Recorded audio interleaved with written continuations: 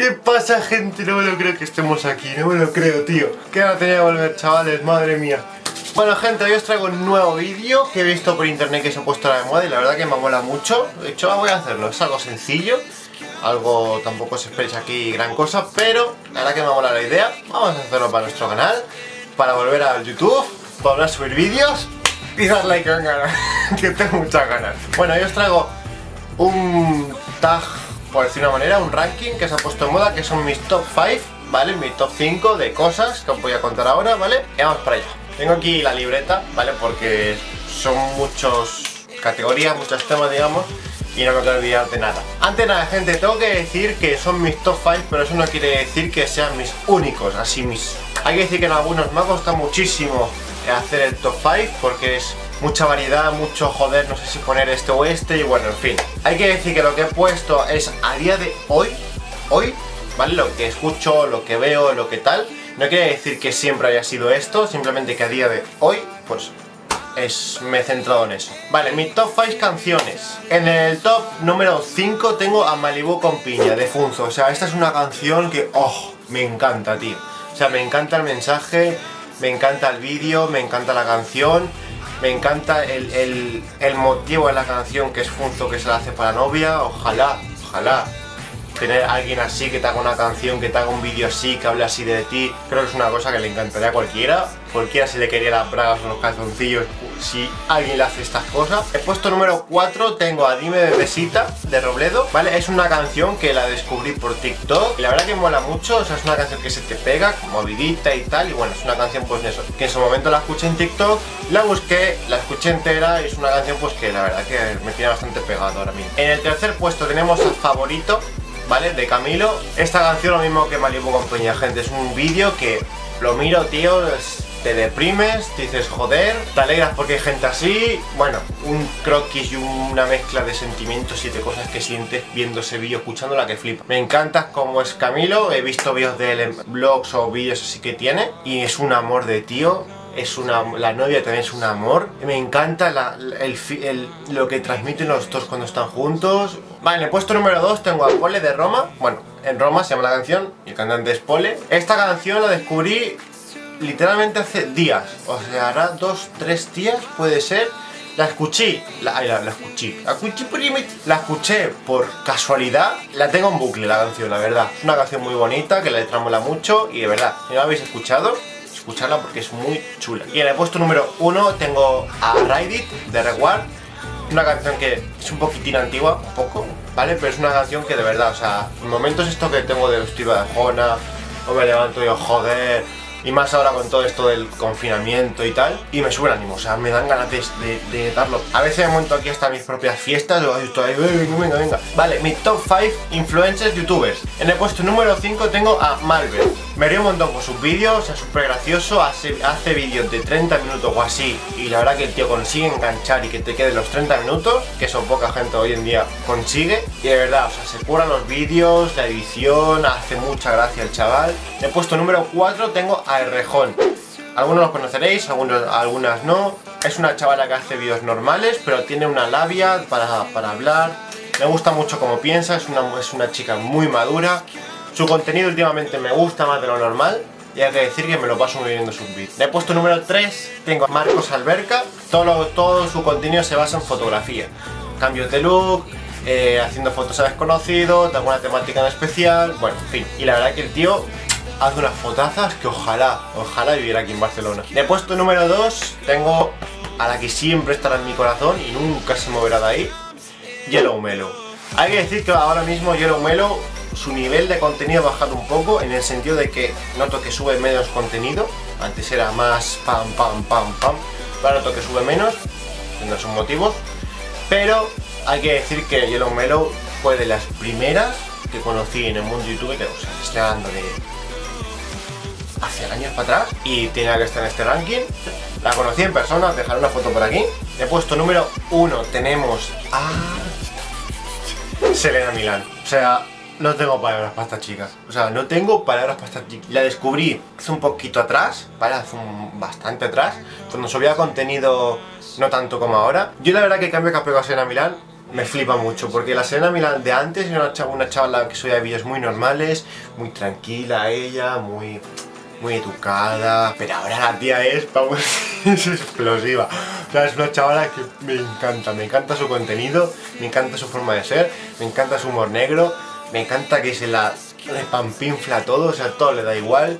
Me encanta, ¿verdad? Si, si no veis contenido, no conocéis a Cena Mirar, miradle, porque vale muchísimo la pena esa chaval. Ah, tengo que decir que en el, en, en, en el YouTubers Influencers he puesto estos 5 porque, porque digamos que estos 5 son los que principalmente veo que suben vídeo y los veo sí o sí, porque sé que me van a gustar. Lógicamente, por de estos 5 veo muchísima gente más. Veo, por ejemplo, a Dianina, a Daya, a los hermanos Hasso, Victoria, bueno, un montón de gente más. Y top 5 serie. En el puesto número 5 he puesto Good Doctor. Número puesto número 4 tengo a La Reina del Flow. Esta serie la verdad que me encantó. Es una serie que vale muchísimo la pena ver. Si no la habéis visto, miradla. es una serie muy original, la verdad. El, la trama y tal es bastante original de lo normal. Mira que veo series y empiezo series y bueno, en fin.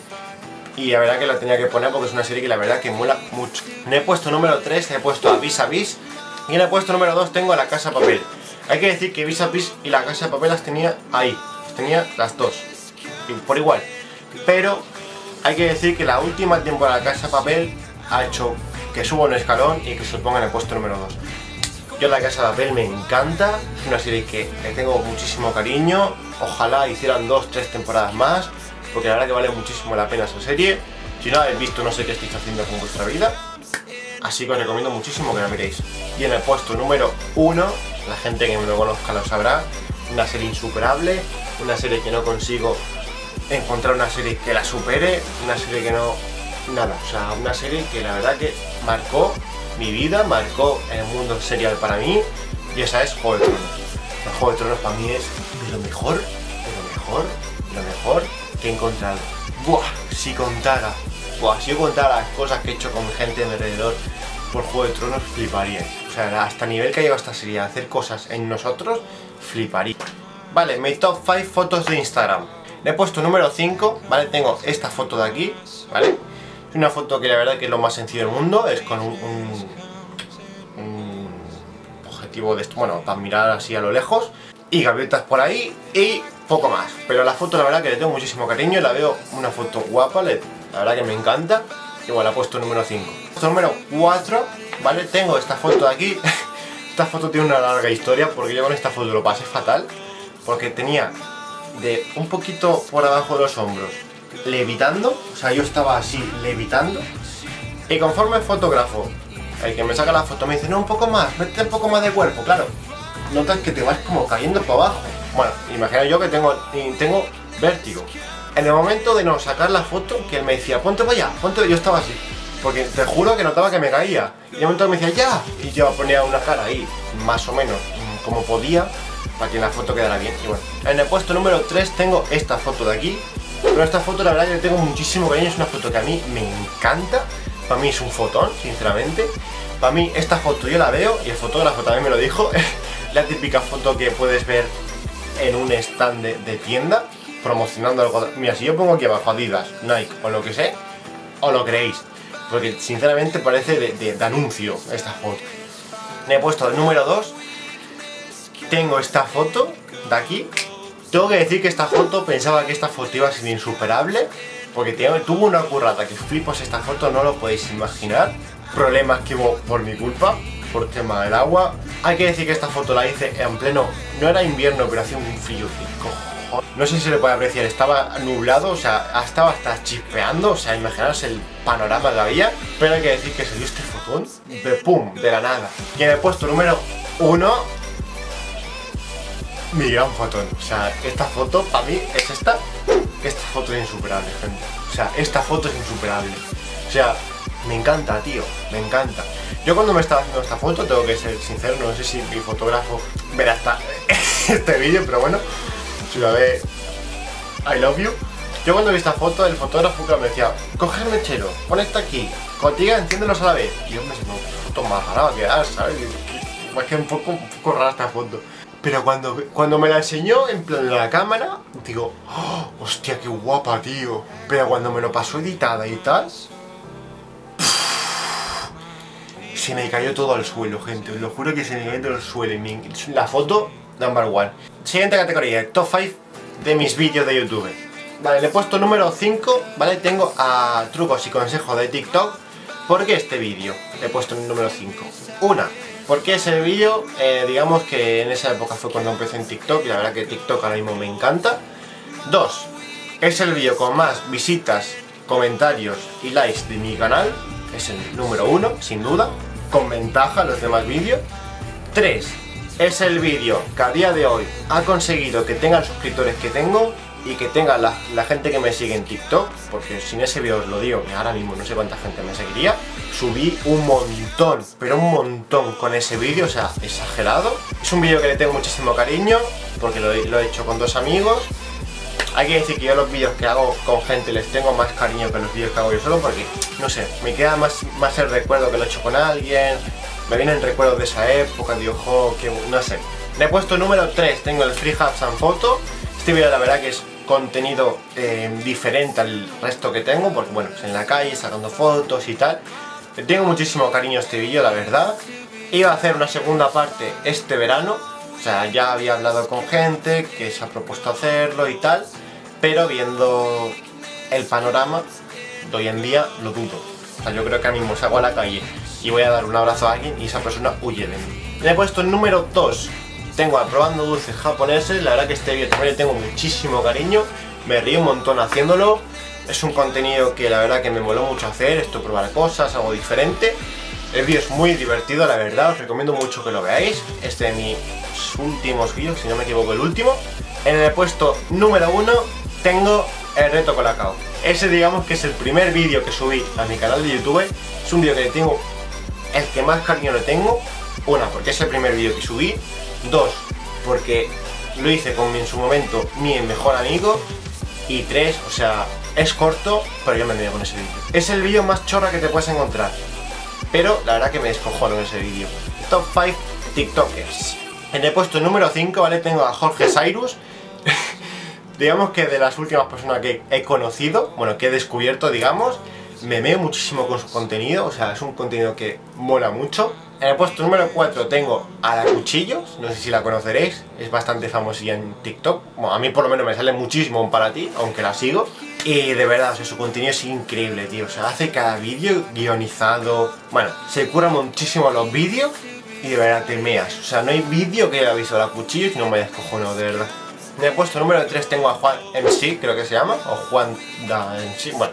Este también es de los últimos que encontró, si no me equivoco, el último que, he descubierto. Su contenido me encanta, es como una cuchillos latino, ¿vale? Se guioniza mucho los vídeos, hace vídeos muy corados, tiene unas ideas increíbles. Yo he hecho alguno que otro vídeo con su audio, muchos de sus audios se han viralizado muchísimo, o sea, me meo, si, te quieres reír de verdad, Juan, Juan, te meas. Y algo diferente, y sobre todo que tenía que poner en los de arriba, en los puestos de arriba, eh, Tania García. Tania García es una chavala increíble. O sea, tiene una cabeza increíble, tiene una madurez increíble, tiene una forma de hablar increíble. Sus vídeos hace pensar muchísimo.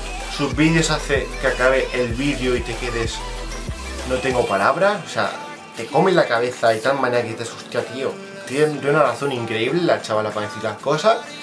De verdad. O sea, si no conocéis a Tania, mirarla porque a lo mejor quien os, diga que mirando sus vídeos os abra la mente de alguna cosa que necesitéis alguna aclaración o que alguien os haga un boom en la cabeza y a lo mejor Tania os puede ayudar porque a mí sinceramente muchas cosas me ha ayudado bastante y en el puesto número uno tenía que poner a la élite, a, la veterana a la princesa de TikTok, Moni Smurf Moni Smurf es una de las personas que creo que fue de las cinco primeras personas que conocí en época de musical, o sea, estoy hablando de años atrás. Es la de las transiciones para mí y para mucha gente. Creo que todo el mundo conoce a Moore, Mónica, Mónica Morán, y tenía que ponerlo. O sea, porque es una persona que cuando empecé en TikTok la seguía, la seguía y a día de hoy la sigo y me encanta su contenido. Y bueno, gente, hasta aquí mi top 5 de cosas random. Espero que os haya gustado. Si queréis que haga otro top 5 de otras cosas diferentes, si queréis decírmelo en los comentarios. Me molaría que me dijerais vuestros... Si estáis de acuerdo en algunas cosas que he puesto, si vosotros preferís otra, otra gente, otra serie, bueno, déjamelo aquí en comentarios. Si os ha gustado este vídeo, dejadme un like Y nos vemos la semana... Bueno, no, no, no, no, no, no, que luego la lío... No, luego la lío esto la semana que viene y no veas. Eh, nos vemos. Dejámoslo ahí.